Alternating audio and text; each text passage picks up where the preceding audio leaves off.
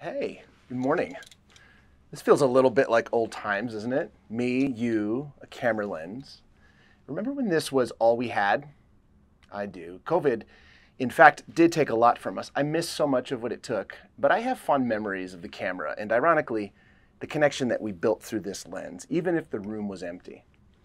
Well, the room is empty again today. Anytime we have a calendar month of five Sundays, we like to suspend a gathering in person so we, we can serve our city together in organized ways. And maybe you've joined us for one of those in the past if you're in town, maybe you haven't. Maybe you're confused why a church would cancel a service. Just know that it's our attempt to remind ourselves that love always moves. It always moves us from places of contemplation to places of action. But using the technology that we now have access to and working ahead a little bit, we can actually do both. We can serve and still have a message of some kind to gather around here.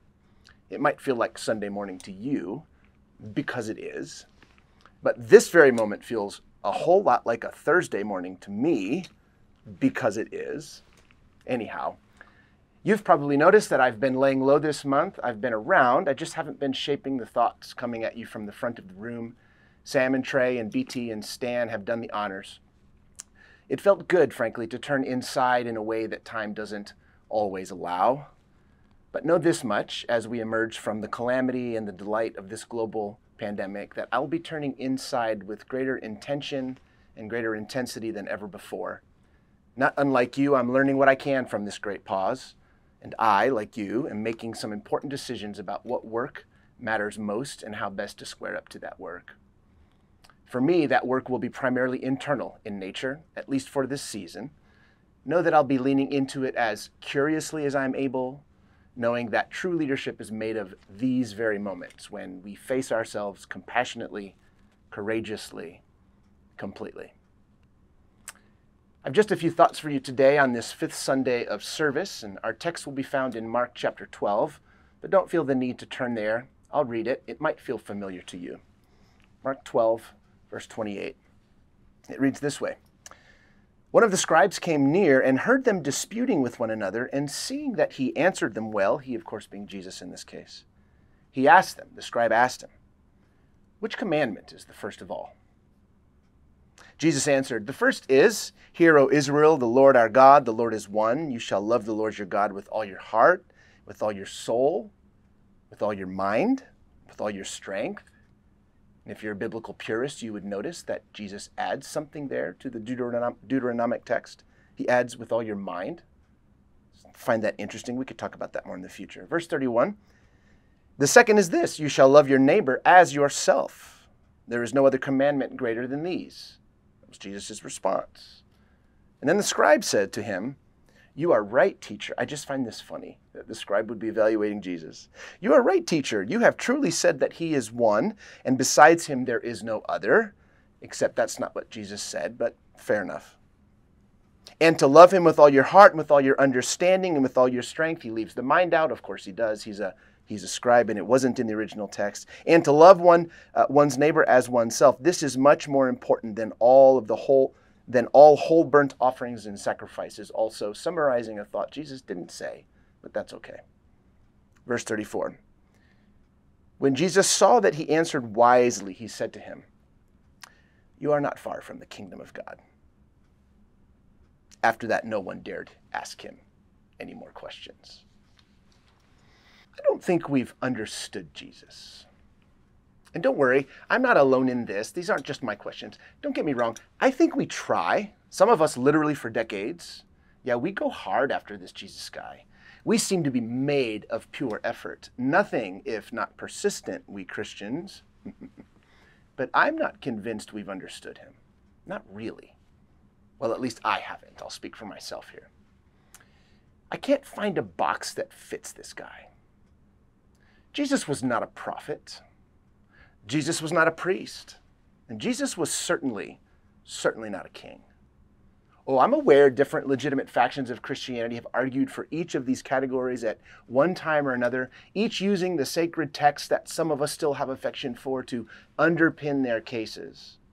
Now, don't mishear me. Jesus did speak about the future, but he wasn't a prophet.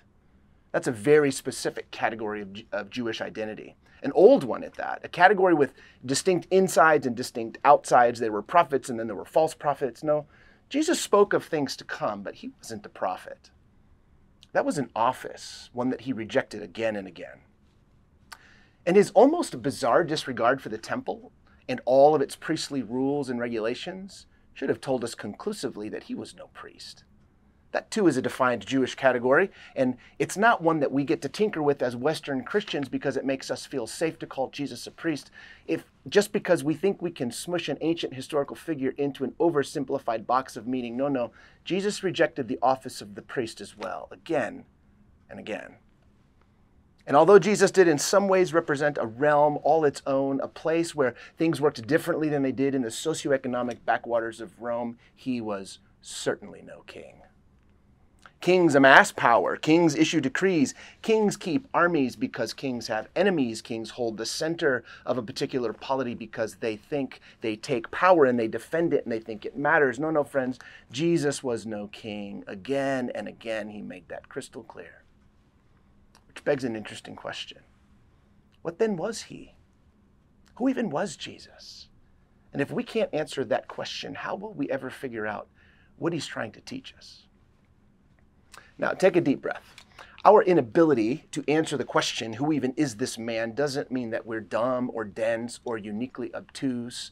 For us, he's a long way back there.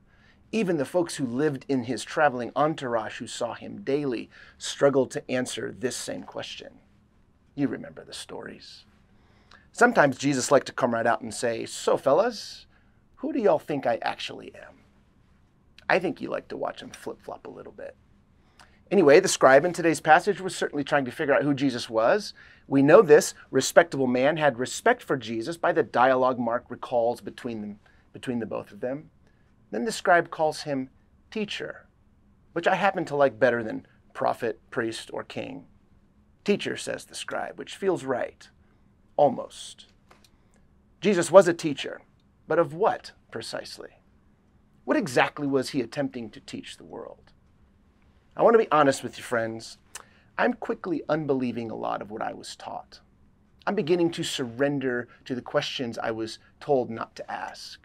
You know, questions about the role of the church, the scope of the Bible, the boundaries of grace, not to mention the future of the cosmos and the sinister algorithm I was told required the vast majority of, of my beloved human family to burn forever in some creepy underworld, while it assured me of peace and comfort unending for good behavior.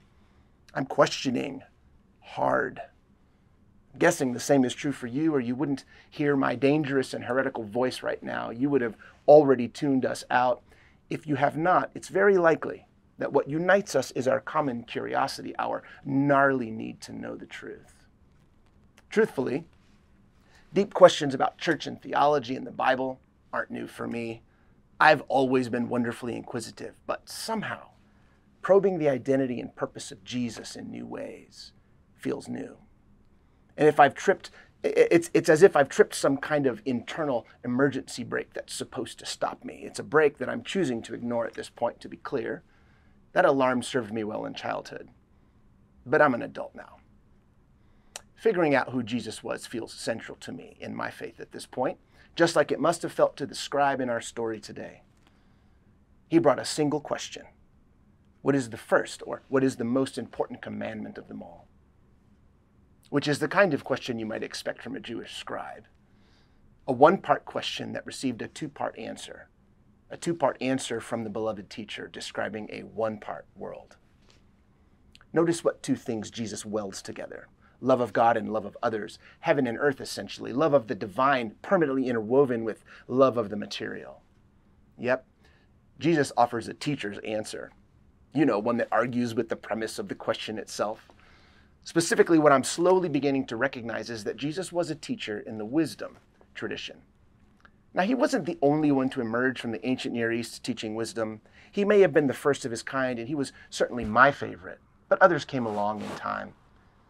It's true, not many in the West. Wisdom teachers mostly turn up in the East, which is why my body has been telling me for years to dig there, to mine those traditions for deeper harmony and integration.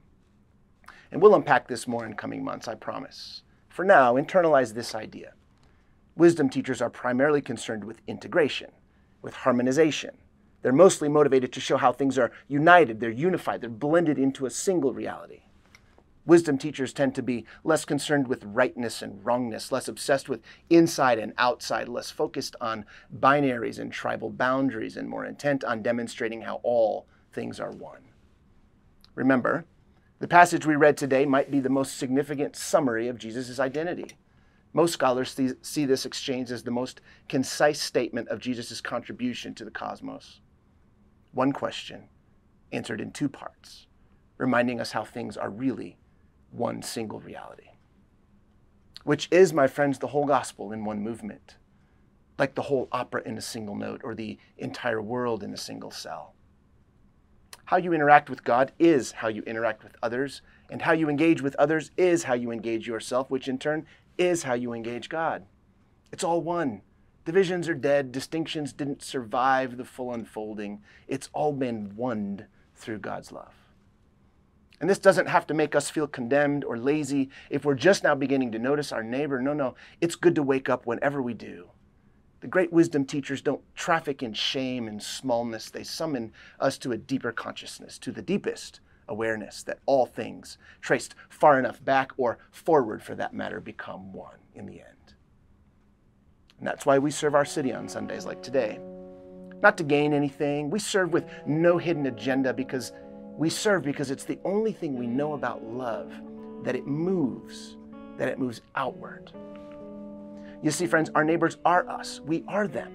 They matter because we do. They are loved because we are.